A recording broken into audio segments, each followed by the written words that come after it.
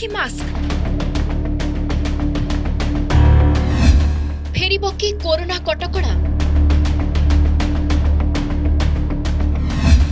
Lockdown shutdown ସହ ପୁଣି ପଡ଼ିବ କି ସଟର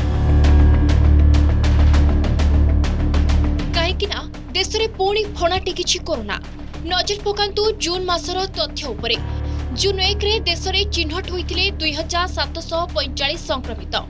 କିନ୍ତୁ ଜୁନ୍ ଦୁଇରେ ଏହି ସଂଖ୍ୟା ତିନି ହଜାର ସାତଶହ ବାରକୁ ବୃଦ୍ଧି ହୋଇଥିଲା। ସେହିପରି ଜୁନ୍ ତିନିରେ ଚାରି ହଜାର ଏକଚାଳିଶକୁ ସଂକ୍ରମିତ ସଂଖ୍ୟା ବୃଦ୍ଧି ହୋଇଥିବା ବେଳେ ଆଜି ତିନି ହଜାର ନଅଶହ ବାଷଠି ଜଣ ଆକ୍ରାନ୍ତ ଚିହ୍ନଟ ହୋଇଛନ୍ତି। ମାନେ ସିଧା ସିଧା କହିବାକୁ ଗଲେ ଚାରି ଦିନ ତଳେ ତିନି ହଜାର ତଳେ ରହୁଥିବା ସଂକ୍ରମିତଙ୍କ ସଂଖ୍ୟା ଏବେ ଚାରି ହଜାର ପାଖାପାଖି ରହୁଛି। କେରଳ ତାମିଲନାଡୁ ତେଲେଙ୍ଗାନା କର୍ଣ୍ଣାଟକ ମହାରାଷ୍ଟ୍ରରେ ଏବେ ସ୍ଥିତି ସଙ୍ଗୀନ। ମହାରାଷ୍ଟ୍ରର ବୋରିଭିଲି ଗୋରେଗାଁଓ ଅଞ୍ଚଳରେ ଦୁଇ ସପ୍ତାହ ମଧ୍ୟରେ ଶହେ ପଚାଶ ପ୍ରତିଶତ ବଢ଼ିଛି ସଂକ୍ରମଣ। ପରିସ୍ଥିତି ଅଣାୟତ୍ତ ହେଉଥିବାରୁ କେନ୍ଦ୍ର ସ୍ୱାସ୍ଥ୍ୟ ସଚିବ ରାଜେଶ ଭୂଷଣ ଚିଠି ଲେଖି ପାଞ୍ଚ ରାଜ୍ୟକୁ ସତର୍କ କରିଛନ୍ତି। ସଂକ୍ରମଣ ରୋକିବା ଓ ନିୟନ୍ତ୍ରଣ ଲାଗି ସଜାଗ ଓ ସତର୍କ ରହିବାକୁ ପାଞ୍ଚ ରାଜ୍ୟ ସରକାରଙ୍କୁ କୁହାଯାଇଛି। ନିୟମିତ ଭାବେ ଟ୍ରେସିଂ ଟ୍ରାକିଂ ଓ ଟିକାକରଣ କରିବାକୁ ନିର୍ଦ୍ଦେଶ ଦିଆଯାଇଛି। ଚିଠି ପରେ ମହାରାଷ୍ଟ୍ରରେ ଆବଦ୍ଧ ସର୍ବସାଧାରଣଙ୍କ ସ୍ଥାନରେ ମାସ୍କ ପିନ୍ଧିବାକୁ ବାଧ୍ୟତାମୂଳକ କରାଯାଇଛି।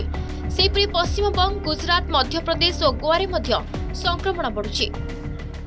ଟେଷ୍ଟିଂ ଟ୍ରିଟମେଣ୍ଟ ଆଉ ଟ୍ରେସିଂ କରିକି ତାକୁ ସର୍ଭିଲେନ୍ସ ରଖି ତାକୁ ଟ୍ରାପ୍ କରିକିରି ଗୋଟେ ଜାଗାରେ ଯଦି ଆମେ ବନ୍ଧକ ଭଳିଆ ରଖିଲେ ଆଉ ଯେଉଁମାନେ ଯେଉଁ ଏଇ ଯେଉଁ ପାଞ୍ଚଟା ରାଜ୍ୟରୁ ଆସୁଛନ୍ତି ସେମାନଙ୍କୁ ଯଦି ପ୍ରତିବନ୍ଧକ କିଛି ମାସ୍କରେ କିଛି ସିମ୍ପଟମ୍ ଥିଲେ ହୁଏତ ଆମେ ଏ କରୋନାରୁ ଫେର ଆମେ ନିଜକୁ ରୋକିପାରିବା। କୋଭିଡ୍ ପ୍ରିଭେନ୍ସକୁ ଫଲୋ କରିବା ନିହାତି ଆବଶ୍ୟକ ଅଛି। ଯଦ୍ୟପି ବର୍ତ୍ତମାନ କେସ୍ ଏ, ମାନେ ଯେ କେସ୍ ଲୋଡ଼ଟା ସେତେ ବେଶୀ ନାହିଁ କିନ୍ତୁ ଯେଉଁ ଗୋଟେ ଦିନରେ ଚାରି ଚାରି ହଜାର ଏଗାରଶହ ଉର୍ଦ୍ଧ୍ୱ ରୋଗୀ କେବଳ ମହାରାଷ୍ଟ୍ର ଇନ୍ଫେକ୍ଟେଡ୍ ହେଇଛନ୍ତି ତ ଡେଫିନେଟଲି କେତେବେଳେ କହିହେବନି ଗୋଟେ ଛୋଟ ଛୋଟ ପିକ୍ଟା ହେଇପାରେ ଏବଂ ସେଥିରେ କିଛି ଲୋକଙ୍କ ଜୀବନହାନି ଘଟିପାରେ। ଏପଟେ ସ୍ଥିତି ଦେଖି ଆଲର୍ଟ ହୋଇଛି ରାଜ୍ୟ ସ୍ୱାସ୍ଥ୍ୟ ବିଭାଗ। ରାଜ୍ୟରେ ଆଜି ବାର ଜଣ କରୋନା ଆକ୍ରାନ୍ତ ଚିହ୍ନଟ ହୋଇଛନ୍ତି।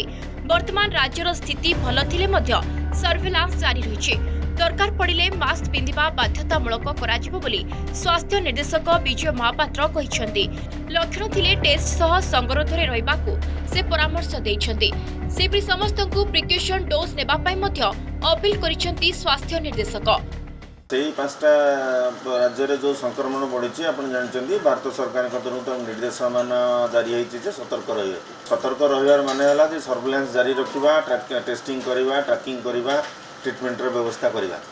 କିନ୍ତୁ ସେଇ ତୁଳନାରେ ଦେଖିବାକୁ ଗଲେ ବର୍ତ୍ତମାନ ଆମେ ଆପାତତଃ ଆମର ଯେଉଁ ସ୍ଥିତି ଅଛି ସେ ସ୍ଥିତି ଏ, ଉଦ୍ବେଗଜନକ ନୁହଁ। ଆମକୁ ବି ଆମର ଯେତିକି ଜିନିଷ ଜାରି ରହିବା କଥା ସେତିକି ଆମେ ରଖିବୁ। ଯେଉଁଟା ପ୍ରିକସନ୍ ଡୋଜ୍ର ନିଶ୍ଚୟ ଭାବରେ କିଛି ବୈଜ୍ଞାନିକ ପ୍ରୋଟେକ୍ସନ୍ ଅଛି ସେଇ ପାଇଁ କୁହାଯାଉଛି। ତେଣୁ ସମସ୍ତଙ୍କୁ ଅନୁରୋଧ ସେମାନେ ତାଙ୍କର ପ୍ରିକସନ୍ ଡୋଜ୍ ଯାହା ନେବା କଥା ନେଇଯାଆନ୍ତୁ କମ୍ପ୍ଲିଟ୍ ଭ୍ୟାକ୍ସିନେସନ୍ କଭରେଜରେ ରୁହନ୍ତୁ। ଯେଉଁଟାକି ଗୋଟେ ବଡ଼ ଜିନିଷ ହେବ ଆମକୁ ପ୍ରୋଟେକ୍ସନ୍ ଦେବାରେ। ପ୍ରଥମ ଦ୍ୱିତୀୟ ଲହରେ କରୋନାର ଭୟାବହତାକୁ ଆମେ ସମସ୍ତେ ଅନୁଭବ କରିସାରିଛୁ। ତେଣୁ ଘର ବୁଡ଼ି ପାଣି ଆଣ୍ଠୁଏ ହେବା ପୂର୍ବରୁ ଏବେ ସତର୍କ ହେବାର ସମୟ। କଟକଣା ଓ ମାସ୍କ ପିନ୍ଧିବାର ସମୟ। ଭୁବନେଶ୍ୱରରୁ ଦିବ୍ୟଜ୍ୟୋତି ମହାନ୍ତିଙ୍କ ରିପୋର୍ଟ ଅର୍ଗସ୍ ନ୍ୟୁଜ୍।